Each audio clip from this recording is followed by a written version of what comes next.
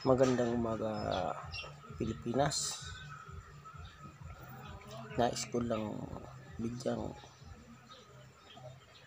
pansin ngayon dahil araw ng kagitingan ang ating mga frontliners na nagbibigay ng kanilang sariling buhay, nagbubuwis ng kanilang sariling buhay para sa atin sa labanan ng COVID-19. Gusto ko lang bigyan sila ng parangal sa maiksing maik, maliit na pamamaraan. Saludo po ako sa inyo. Walang katumbas kayo.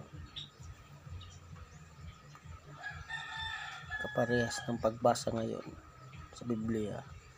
John chapter 13 verse 1 to 15 kung gaano si Jesus Christ nag-sacrifice ng kanyang buhay at naglaan ng kanyang sarili para sa kanilang mga kaibigan.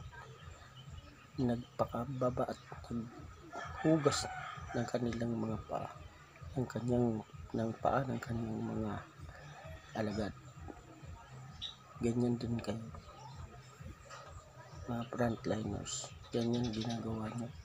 Walang katumbas ang inyong pagmamahal na binibigay ngayon para sa amin. Kaya ngayong araw ng kagitingan nais ko lang kayong bigyan ng capital S. Salute